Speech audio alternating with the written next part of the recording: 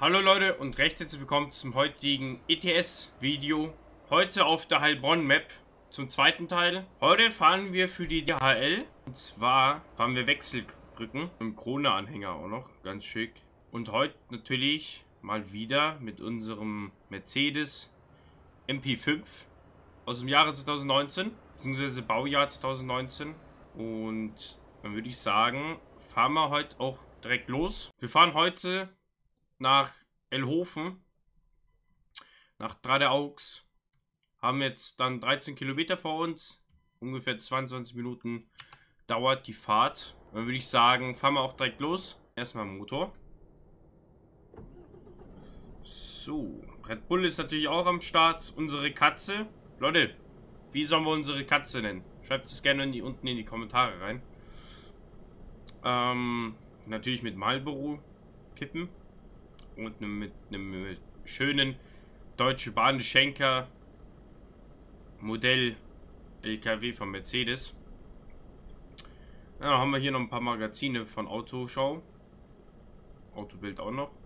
Genau, dann haben wir hier jetzt noch ein neues TomTom Navigationsgerät.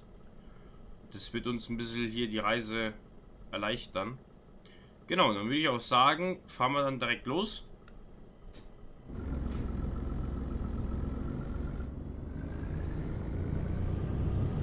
So, müssen wir kurz gucken, wo wir hier rauskommen. Ah, da hinten raus. Und dann müssen wir einmal drehen. So, haben wir erfolgreich gedreht. Also ich finde es echt schade, dass es nicht Multiplayer gibt. Den LKW aber auch die Hängerkombi. Also der braucht irgendwie echt lang, um hochzuschalten. Oder beziehungsweise vom Fleck zu kommen.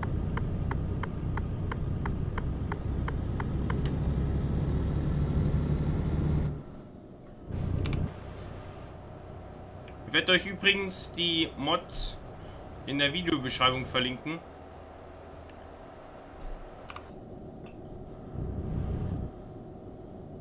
So wie immer eigentlich. Jetzt haben wir eh gerade rot.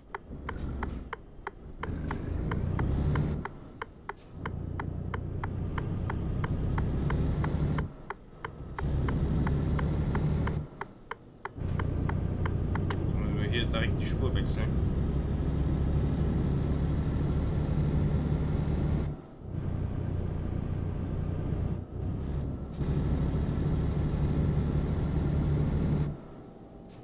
Übrigens, Leute, das, was in der Kabine zu finden ist, also Red Bull und die Katze und so weiter, ähm, ist auch unten in der Videobeschreibung verlinkt, der Mod. Das ist ein extra Mod dafür.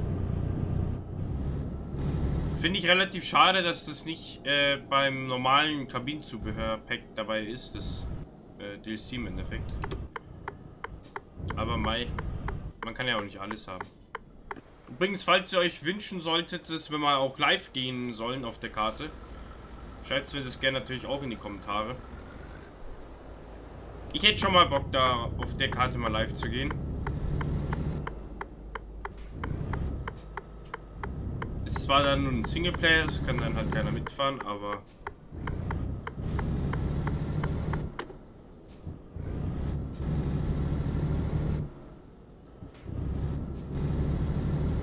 Übrigens, Leute, nicht wundern, warum der so schlecht schaltet.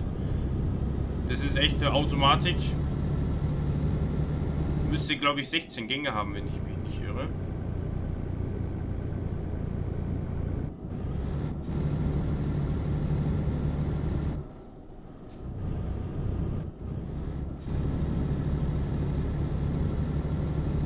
Das ist erstmal eine fette Baustelle.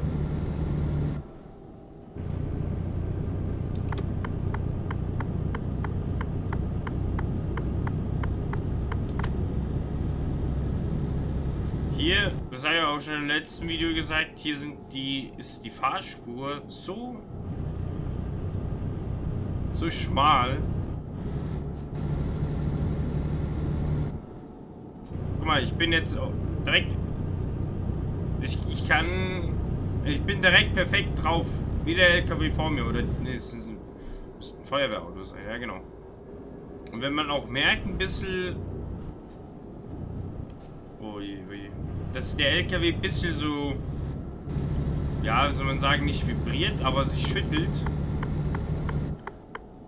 Da vier Fahrspuren sind, also Spuren im Endeffekt. Und das ist auch, finde ich, wenn ich ehrlich bin, voll geil.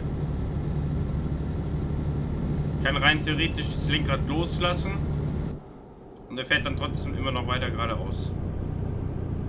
Muss aber trotzdem leicht nachlenken. Aber sonst gut, es geht ja auch gerade nur geradeaus. Aber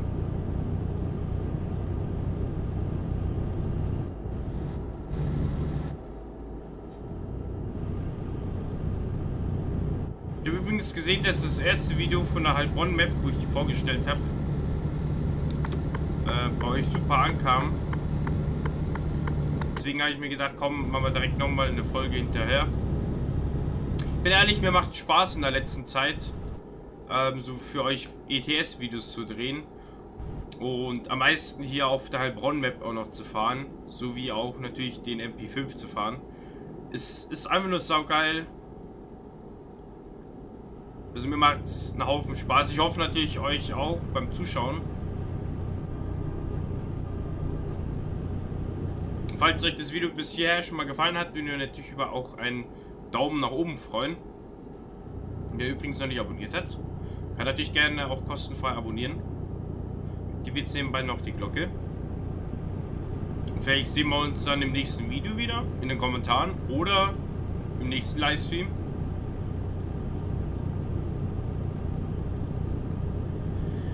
Ja, leere Paletten, DHL da drüben ist wieder ein Unfall passiert.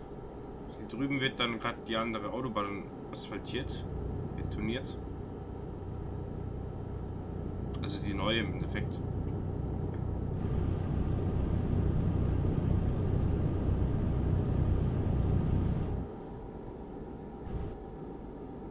Könnt ihr mir übrigens gerne auch Mod-Vorschläge reinschreiben in, in, die Kommentare, was ich so als nächstes für LKWs oder einfach Mod-Maps äh, ausprobieren oder austesten soll. Aber ich bin ehrlich, erster Eindruck von der Heilbronn, richtig, richtig geil. Danke nochmal an dich, Klausi, fürs Modden bzw. entwickeln. Macht einen Haufen Spaß hier zu fahren.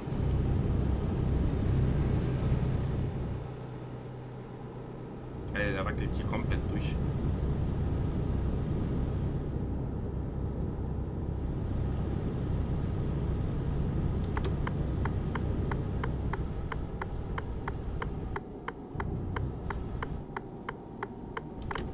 Stauzis.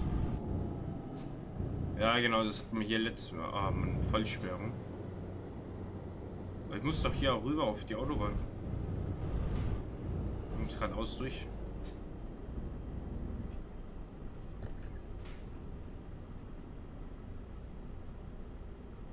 Hm.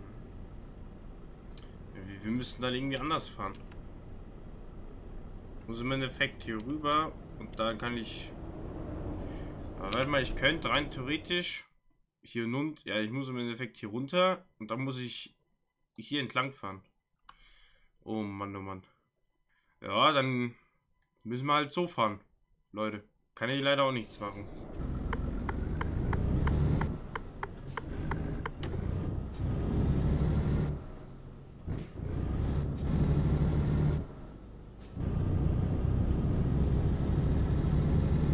ich weiß noch, in der letzten Folge war die Autobahn gesperrt auf der Seite und geradeaus nicht. Jetzt weiß ich noch. Jetzt ist... Oh Mann, oh Mann, oh Mann.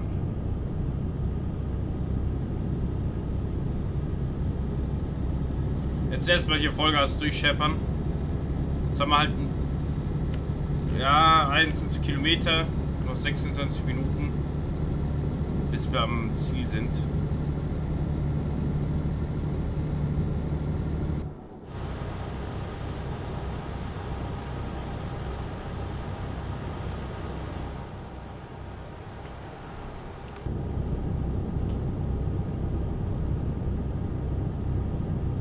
Also es hat auf jeden Fall was.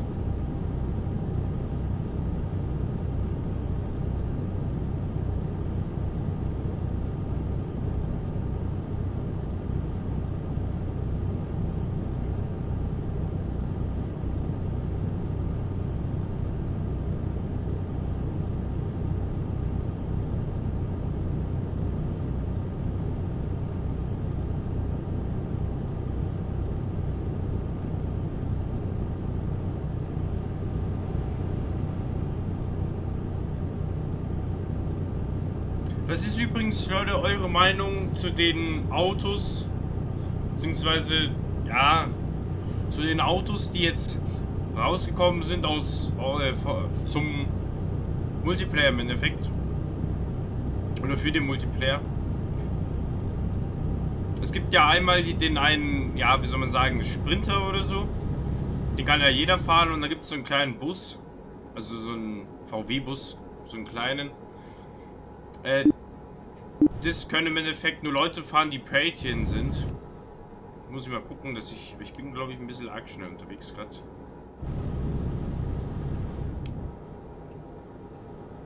So, jetzt...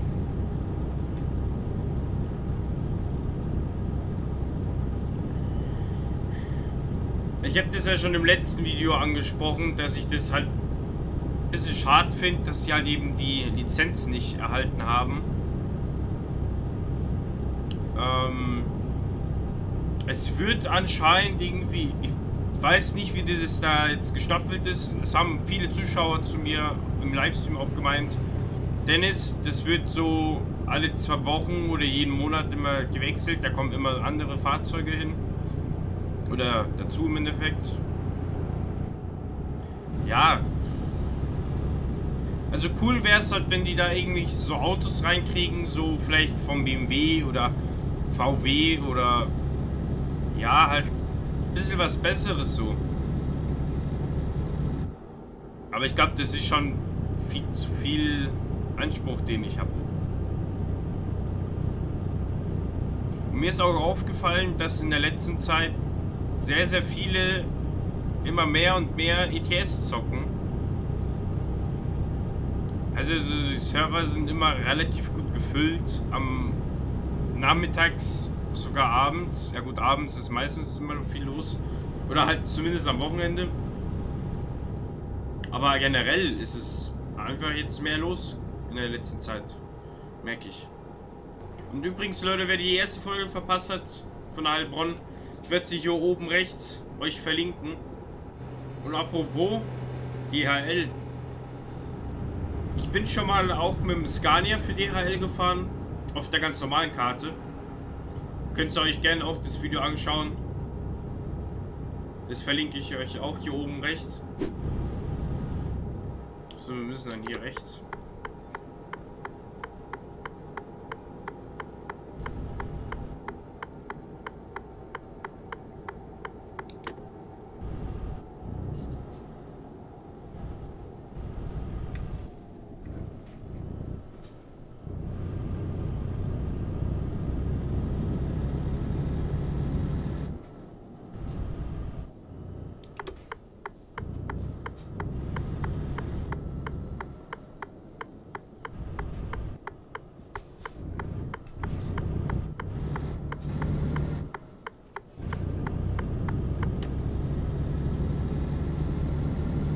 Wir erstmal auf der Landstraße unterwegs.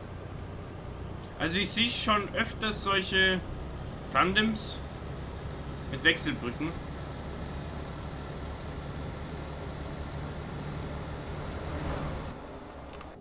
Übrigens, Leute, ich bin ja auch derzeit noch am Führerschein machen. Für die Klasse B derzeit. Und mache Ende des Jahres so, also wenn, sobald ich einen B-Führerschein habe, will ich dann ungefähr so einen Monat Pause machen und dafür dann noch den C-Führerschein machen. Aber dann natürlich ohne die Module. Bin mir nicht sicher. Ich glaube, das sind 12 oder 13 Module oder irgendwie 14. Die muss ich halt nicht machen.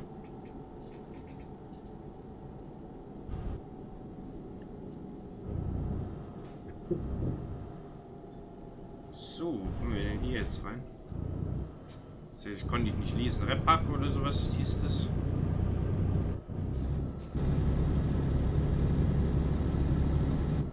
Hier steht es eh nochmal. Reppich oder so.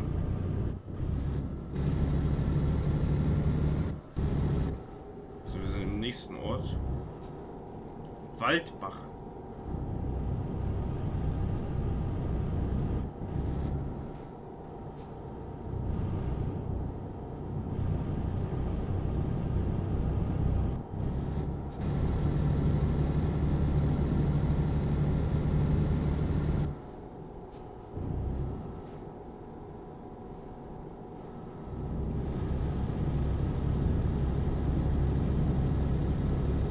Übrigens, Leute, falls ich mal auch irgendwelche Autos, also Mod-Autos testen soll, könnt ihr mir das gerne natürlich auch unten in die Kommentare reinschreiben.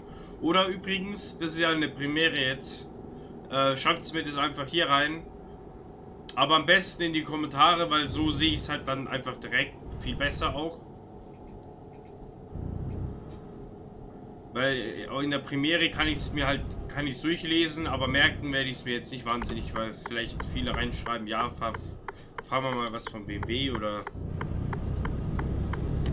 von Ford, Porsche oder was auch immer, was es da alles für Autos gibt.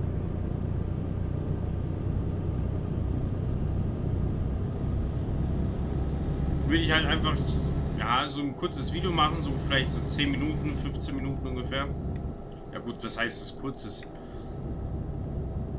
Wo ich halt einfach ein bisschen rumfahre, irgendein Ziel setze, wo ich in dem Video ankommen möchte.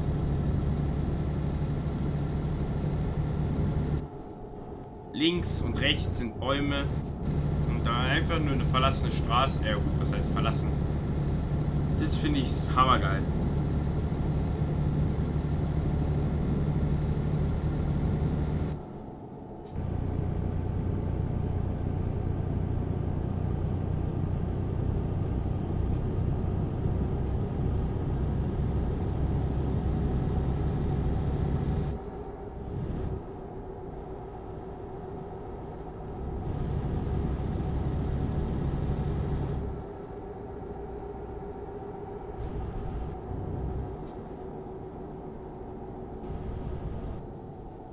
So, Kurve.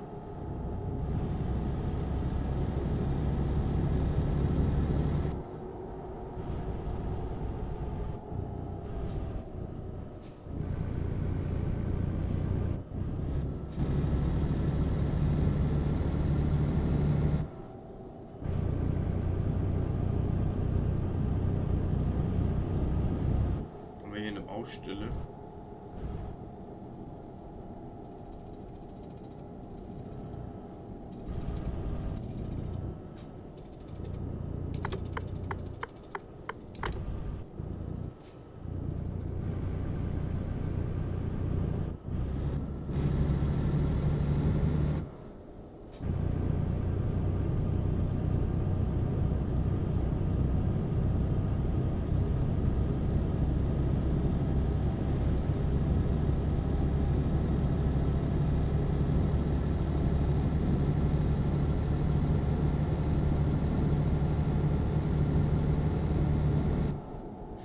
Übrigens, Leute, ich verlinke euch auch hier oben rechts zum virtuellen Spediteur.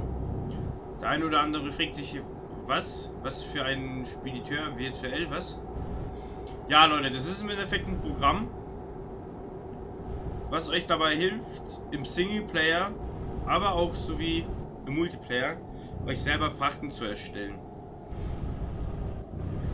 Leider funktioniert das Ganze nicht auf der Heilbronn-Map. Weil die halt dann natürlich nicht, äh, ja, verfügbar ist. Das geht für ATS, aber auch für ETS. Für einen Singleplayer und einen Multiplayer. Was ist jetzt los? Jetzt fährt der hier so... Fühlte 10 km/h hier. Nur hier anhupen. Jetzt gibt er Gas. Warum, warum blinkt denn der, wenn er reinfährt? Also rausfahren, das habe ich jetzt in der Fahrschule gelernt. Wenn man rausfährt, muss man blinken. Aber das müsste so oder so jeder wissen. So, wie viele Kilometer haben wir denn noch vor? Zwei Kilometer. Also noch vier Minuten, dann sind wir auch erfolgreich am Ziel angekommen. Ja, es ging jetzt eigentlich, wenn ich ehrlich bin, relativ schnell. Standen bis jetzt nur einmal kurz im Stau. Braucht immer ein bisschen länger, bis er jetzt... Ja, jetzt...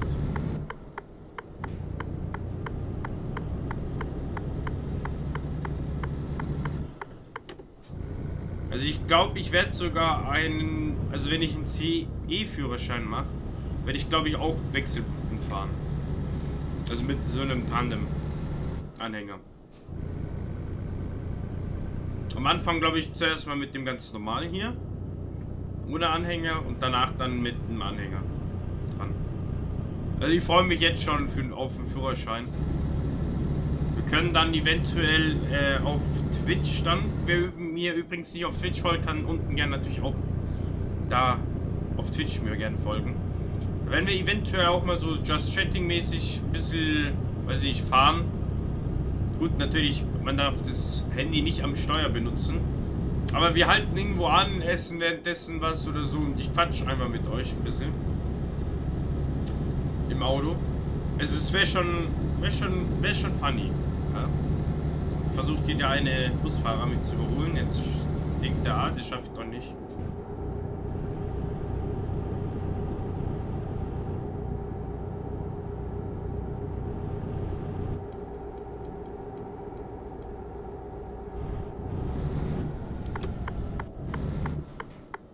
So, müssen wir hier jetzt links rein.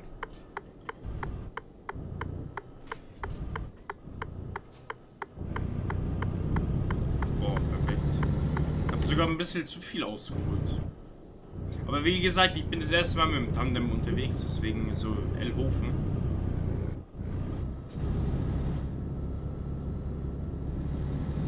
Das, das ist halt einfach hammergeil. Das ist, sieht aus wie so ein richtiges Industriegebiet. Hier stehen LKWs, die warten, dass sie entladen werden oder sogar leer sind. Wir müssen, ich bin mir jetzt nicht sicher, müssen wir, müssen. Scheiße, wir hätten hier rein müssen.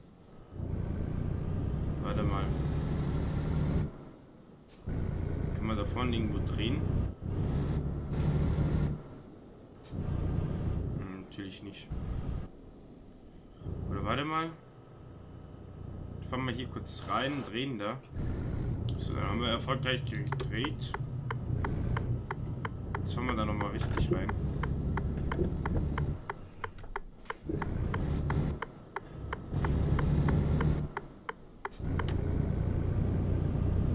So, hier.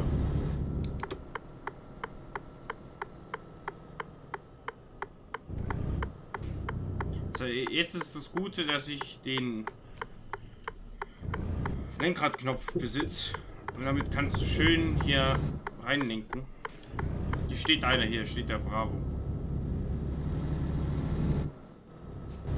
Der ist im Multiplayer im Endeffekt vorhanden. Den kann jeder fahren. Aber ich bin ehrlich, transportieren kannst du ihn damit nichts. Also bringt das nicht wahnsinnig viel, kannst halt ein bisschen rumfahren, aber mehr nicht. So, jetzt, Leute, was soll man machen? Sollen wir mal ausprobieren, rückwärts ein Ah, wir können eh hier nicht. Aber wir können schon mal vorwärts reinfahren. Das machen wir. So.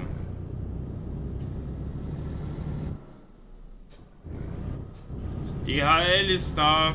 Mit den leeren Paletten.